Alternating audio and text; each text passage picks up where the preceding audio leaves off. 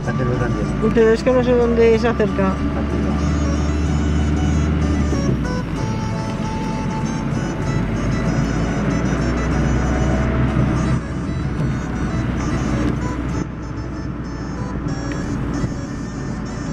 ¿Ya está?